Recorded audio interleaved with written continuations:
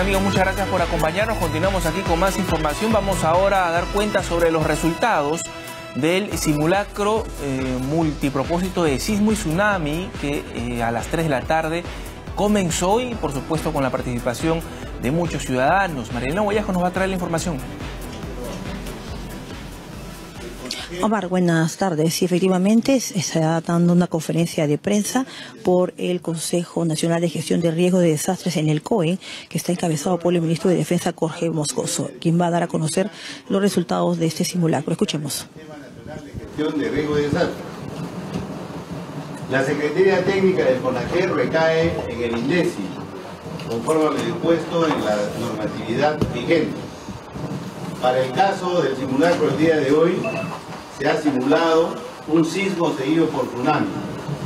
El parámetro del sismo fue de 8.5 de magnitud, con epicentro en el mar a 90 kilómetros al oeste de la costa del Callao y a una profundidad de 35 kilómetros, sismo superficial. Por las características del sismo, se generó una alarma de tsunami con olas de aproximadamente 10 metros de altura y una velocidad de 400 kilómetros por hora.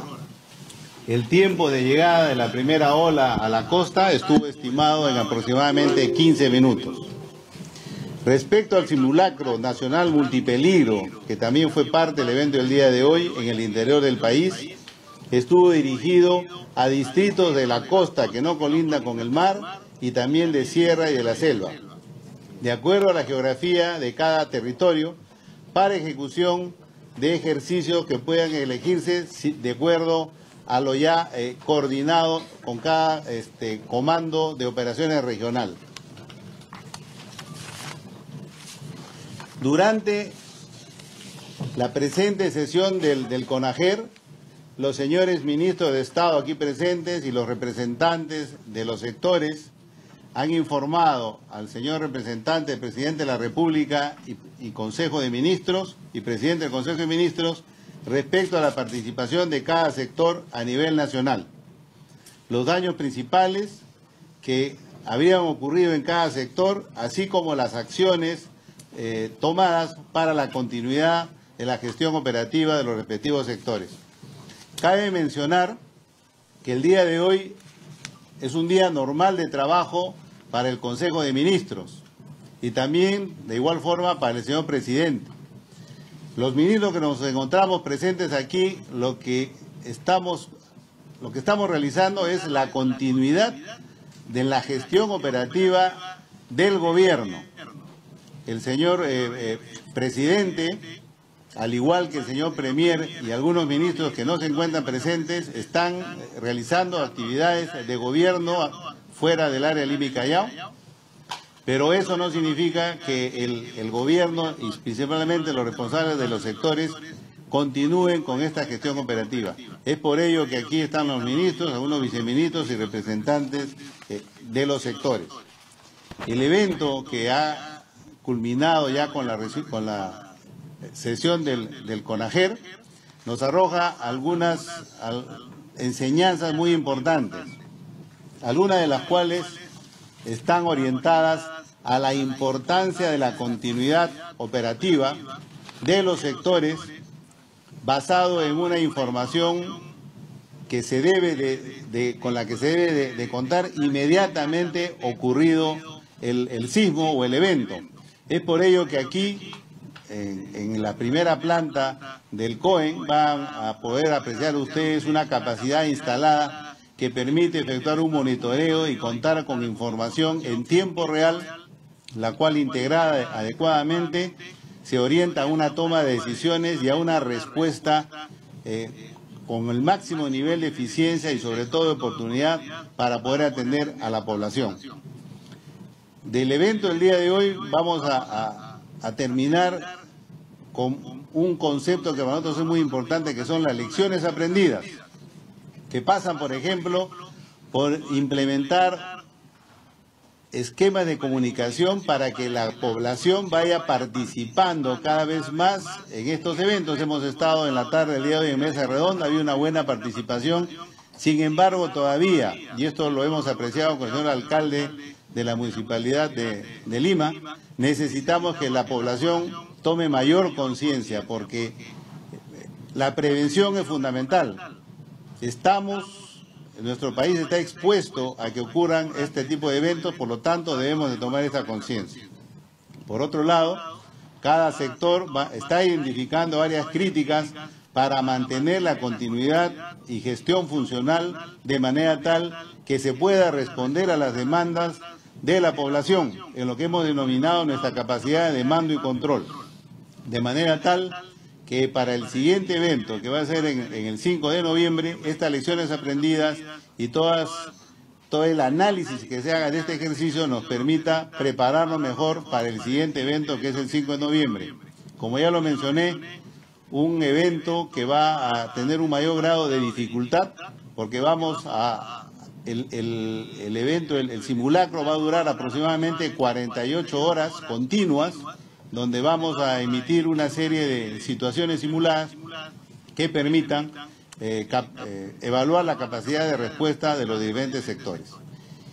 El resultado del, del, simulacro el día de hoy va a ser este, presentado por el señor jefe de INDECI, de manera tal que con eso terminaríamos este, este simulacro del, del día de hoy. Por favor, general, adelante. Gracias, señor ministro principales resultados del ejercicio llevado a cabo el día de hoy en el marco del simulacro nacional por sismo seguido de tsunami en el litoral de nuestro territorio y el simulacro de multipeligro al interior de nuestra nación. El nivel de participación nacional e instituciones en el simulacro llevado a cabo el día de hoy ha tenido resultados positivos, con participación de aproximadamente el 70% de nuestra población, lo cual nos deja un balance que evidencia avances en el desarrollo de la sensibilización y concientización de la ciudadanía en la preparación ante emergencias y desastres y el desarrollo de la cultura de prevención. Las familias y nuestra población han ejercitado las acciones de su plan de emergencia familiar, manifestados por el Sistema Nacional de Gestión de Riesgo de Desastres y sus autoridades, evaluando su desempeño ante una situación de emergencia y han identificado los aspectos por mejorar. En este simulacro, las entidades que conforman el Sistema Nacional de Gestión de Riesgo de Desastres han puesto en práctica los protocolos de actuación, coordinación, trabajo en conjunto, lo cual contribuye a una efectiva articulación del Estado. Las entidades de primera respuesta, Fuerzas Armadas, Policía Nacional del Perú, Bomberos, Salud, entre otros, han ejercitado las acciones de rescate de personas atrapadas, lucha contra incendios, evacuaciones verticales, especialmente en las zonas focales priorizadas a nivel nacional. Esta sesión del Consejo Nacional de Gestión de Riesgo de Desastres permite y ha permitido operativizar la plataforma de coordinación de la decisión política estratégica contemplada en el Plan de Contingencia Nacional ante sismo de gran magnitud seguido de tsunami en la costa central de nuestro país y se ha puesto en práctica los mecanismos de gestión de una emergencia de nivel 5 con la declaratoria del estado de emergencia. Finalmente, si bien el balance de este simulacro es positivo, es necesario continuar fortaleciendo la preparación de la población y su participación en ese 30% que aún falta concientizar y de las entidades que conforman el Sistema Nacional de Gestión de Río de Desastres para optimizar su actuación ante situaciones de emergencia y de desastres. El resultado del balance con los indicadores llevados a cabo ante el sismo de magnitud de 8.5 grados registrado en la costa central del Perú, el peor escenario que se pueda presentar en nuestra nación, ha afectado a las regiones de Ancash, Lima, Callao e Ica. Las autoridades regionales y locales han reportado al Sistema Nacional de Gestión de Río de Desastres los siguientes datos. Damnificados 2.345.147 personas, afectados 4.376.485 personas, fallecidos 110.310 personas, de las cuales, con los indicadores que hemos nosotros tenido, aplicando los índices de verificar aquellas personas que tienen discapacidad, ha habido un fallecimiento de 12.747 personas, heridos 2.096.824 personas, de las cuales heridas con discapacidad 232.747. Viviendas destruidas, 353.496. Viviendas inhabitables, 623.882. Instituciones educativas colapsadas, 11.723. Centros de salud afectados, 449. Puertos afectados, el del Callao, Guarmey, Huacho, Supe, Chancay y Puerto Viejo. Asimismo, el sismo ha afectado los servicios públicos básicos como energía eléctrica, agua y sistema de comunicación.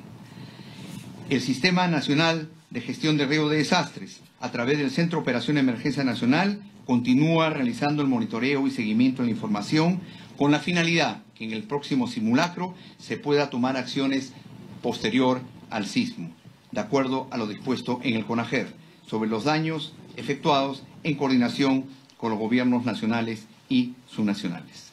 Es cuanto tengo que informar, señor ministro. Muchas gracias. Del jefe del INDECI, Jorge Chávez.